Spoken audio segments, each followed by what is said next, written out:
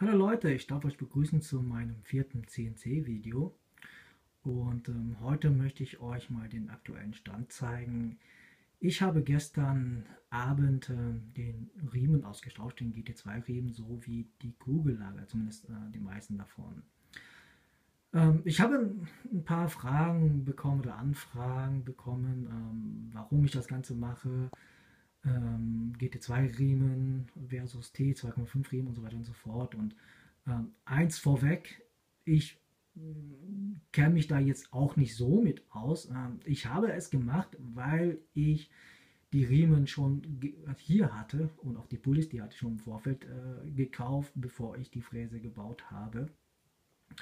Und ähm, da ich ganz gerne bastle, äh, habe ich gedacht, komm, machst du das Upgrade und äh, bei den Kugellagern war das ähnlich. Ich hatte mal geschaut, welche Additiven gibt es. Ich habe auch äh, den Artikel natürlich mehrfach gelesen von Carsten Meyer in der CT Make. Und ähm, abweichend äh, hat er den, ja, den, den Riemen T 2,5 genommen und ich habe jetzt hier den GT2 drin. Äh, ganz ehrlich, ich weiß nicht, ob das im Endergebnis sich auswirkt, äh, stellt sich natürlich die Frage, warum mache ich das denn überhaupt? Ähm, A, weil es Spaß macht und B, ich hatte die Teile da. So, ähm, von daher seht das hier bitte nicht als ultimativen Tipp, sondern einfach nur als Anregung, beziehungsweise ich möchte aber vorstellen, was ich damit gemacht habe. Ohne jetzt äh, zu sagen, das ist... Äh, das Ziel, wo man hin muss oder das ist der Weisheit letzter Schluss, das würde ich niemals behaupten. Ja, und da fehlt mir einfach die Erfahrung zu. Gut, äh, zur eigentlichen Fräse. Wo wir schon beim Riemen sind, ich habe gestern Abend in einer einstündigen Aktion den Riemen ausgetauscht, äh, weil ich ohnehin die Kugellager austauschen wollte. Ja, ich habe jetzt die GT2-Riemen drin, sehen genauso aus. Ja, äh, ich musste den Pulli äh, auswechseln oder die beiden Pullis auswechseln und hier an den einmal für die, die Y-Achse und einmal für die X-Achse den Riemen austauschen, was ich gestern gemacht habe. Äh, wie sieht das Endergebnis aus? Ich sehe im ersten Blick erstmal keine Unterschiede, ähm, auch vom Hören her. So gute Ohren habe ich jetzt auch nicht, dass ich da jetzt einen Unterschied gehört habe. Ähm, aber wie gesagt, da ich die Teile da hatte, hatte ich das auch direkt gemacht. Ähm, vielleicht hätte ich damit warten sollen, bis ich äh, mal Vergleich machen kann, aber ähm, ich hatte Lust zu basteln, ja, sagen wir so. Zu den Kugellagern. Ähm, ich hatte ja das Problem, oder das Problem ist mir aufgetaucht hier auf der X-Achse, äh, auf der Y-Achse mit diesem, diesen, ähm, dieser Umdenkrolle. Und zwar hatte ich festgestellt, dass beim, bei der Bewegung der, y, der X-Traverse, dass der Riemen recht stark vibrierte. Äh, die Vibrationen sind deutlich geringer geworden. Ja, also das kann ich auf jeden Fall bestätigen. Weniger wegen dem Riemen, sondern eher wegen dem Kugellager, den ich jetzt hier drin habe. Äh, und zum anderen hatte ich das, das hatte ich bei meinem Video nicht gemerkt, oder vorhin nicht gemerkt, weil ich das Ganze noch an quasi äh, an, an diesen äh, Treiber, an dieser Treiberplatine dran hatte und da wird ohnehin äh, die Bewegung ein, äh, abgebremst durch, durch, den, durch den Motortreiber. Dazu komme ich vielleicht später nochmal. Ähm, ich habe das gemerkt beim, bei, der, bei, bei der manuellen Bewegung der Traverse, dass sobald der Riemen an dem oberen Punkt angekommen ist, wo der an der Unterlegscheibe geschliffen hat, ja, da war die Bewegung deutlich schwerer. Ja, und das konnte man schon wirklich fühlen. Ähm, das ist jetzt nicht mehr. Allerdings bin ich die Vibration nicht komplett losgeworden. Ja, die, die sind noch in geringen Maßen da, das, das kann man auch fühlen aber äh, deutlich geringer als, als vorher. Ja, das, das kann ich bestätigen, zumindest für meinen Fall. Ich muss auch dazu sagen, bei mir wird das auch dadurch äh, verursacht, dass diese Schraube hier nicht hundertprozentig senkrecht drin ist. Ähm, da habe ich beim Bohren wohl nicht aufgepasst oder äh, die Rampamuffe nicht richtig reingeschraubt, wie auch immer. Auch hier, das Brett ist ein bisschen kurz geraten. Ich werde das Brett auch ein bisschen verlängern. Ähm, ich hatte bisher noch keine Zeit gehabt, ein neues Brett zu besorgen. Ähm, ich würde das Ganze wahrscheinlich so um die einen Zentimeter höher machen, so dass ich auf diese Unterlegscheiben verzichten kann. Ähm, oder vielleicht einen, einen, halben Zentimeter und doch noch zwei, drei Unterlegscheiben zur, zur Feinjustage, mehr oder weniger. Ja. Wie sieht das Ganze aus? Ich habe ja jetzt die, die Kugellager drin mit, mit, äh, mit Bund und dadurch wird quasi der Bund auch mitbewegt und da, da schleift jetzt zumindest, was das betrifft, nichts mehr. Die Vibration, das habe ich festgestellt, kommen hauptsächlich durch die, die Zähne des Riemens. Ja, wenn man hier mal guckt, der Riemen hat ja so, so, so kleine Zähne und ähm, durch, entweder durch die Lauffläche der Kugellager oder durch die Unterlegscheibe oder, oder auch durch den Bund reibt das Ganze.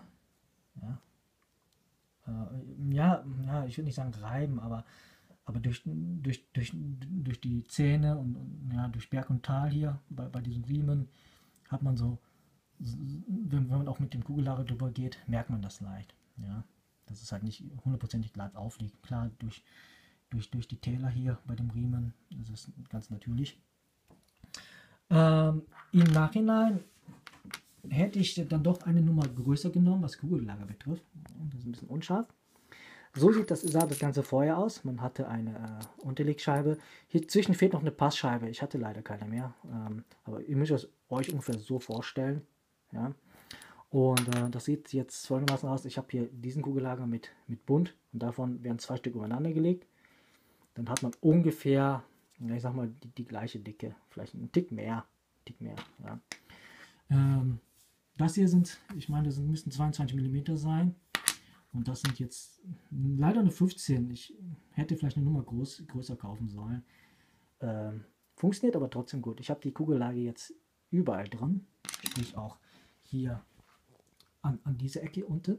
Ja. Da habe ich übrigens das Problem nicht mit den Vibrationen. Und zwar ist es ganz ähm, einfach. Auf der Seite läuft der Riemen nämlich nicht mit, der, mit den Zähnen, zur Laufseite, sondern mit der glatten Seite. Und dadurch habe ich natürlich keine Vibrationen. Auch hier habe ich keinerlei Probleme mit dem Schleifen der, der Unterlegscheiben. Ich habe hier jetzt ja auch die, Kugel mit, mit, mit Bund drin. Ähm, auch hier muss man das haben. Das geht auch ohne, ja, aber äh, ja, ich die Kugel auch schon bestellt hatte und die ja so angebaut habe.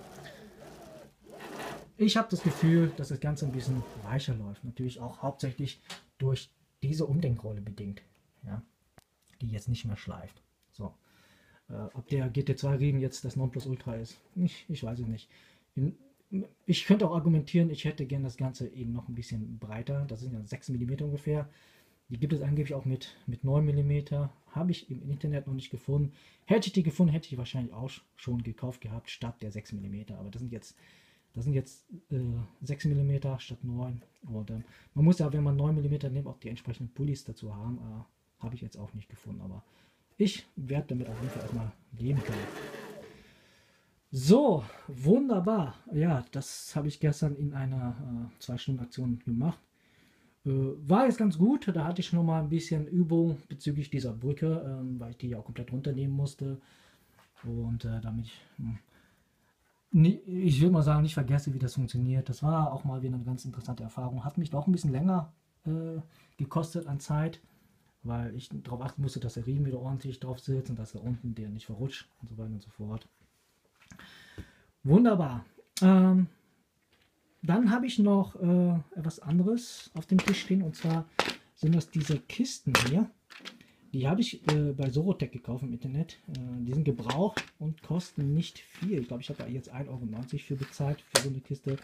Und die sind wirklich prima äh, zum, zum Lagern der, der Fräser. Ja? Ich habe die jetzt auch schon ein paar gekauft im Vorfeld. Und ähm, ich habe jetzt keine neuen Fräser gekauft. Das sind jetzt gebrauchte Fräser. Die habe ich jetzt bei, bei eBay gekauft, glaube ich. Zum guten Kurs. Da kostet ein Fräser, glaube ich, nicht mal ein Euro. Ja, ein paar Cent oder so. Und die kommen aus der Leiterplattenindustrie. Und dort werden die Fräser sehr früh ausgetauscht aufgrund von äh, Qualitätsgüte und Qualitätsansprüchen. Aber für die Holzverarbeitung, was ich hier zu 99% machen werde, reicht das völlig. Ja.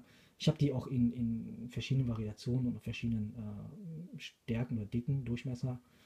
Und äh, da werde ich einfach mal schauen, was ich damit mal machen werde. Ja.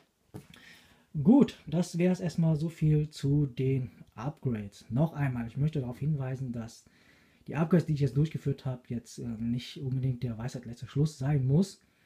Ähm, insbesondere die hiesigen Diskussionen mit den GT2-Riemen. Was ich aber für, für meine Fräse bestätigen kann, ist, ist die, die Verbesserung durch den Kugellager. Ähm, Im Nachhinein optimal für mich wäre wahrscheinlich gewesen, diese Kugellage mit Bund in etwas größerem Durchmesser. Die gibt es auch mit, mit 22 mm, also genau die, die auch vorher drauf waren, die der Carsten Meyer auch verwendet hat. Und, ähm, aber die scheinen auch ganz gut zu laufen. Ja, ich bin, was das Upgrade mit den Kugellager betrifft, recht zufrieden. So, was steht als nächstes an? Ähm, also ein Tipp wollte ich euch noch geben, wenn ihr mit der Fräse rumspielt, ja, so das, was ich jetzt mache, wenn ich manuell hin und her schiebe, achtet bitte darauf, dass ihr die, die, die Kabel nicht, nicht, äh, nicht drin habt, also die Stecker. Weil A merkt man das, dass die ein bisschen schwergängiger sind, wenn die Kabel drin stecken. Ja? Und B fließt dann durch die Bewegung, erzeugt der, der Schrittmotor Strom oder Spannung und das fließt dann zurück äh, zu, dieser, zu diesem Treiber. Und ich weiß nicht, ob das auf Dauer gut ist. Man kann es auch daran erkennen, dass hier die, die LEDs leuchten, wenn ich die Traverse bewege, obwohl das Ganze nicht am Strom angeschlossen ist. Und äh, das kann nicht gut sein. Ja? Also ich glaube nicht, dass man dadurch sich schnell die Karte kaputt macht. Das ist mir zum Glück bisher noch nicht passiert, aber sicher ist sicher. Gut, dann ähm, war es das für heute und äh, bis zum nächsten Video.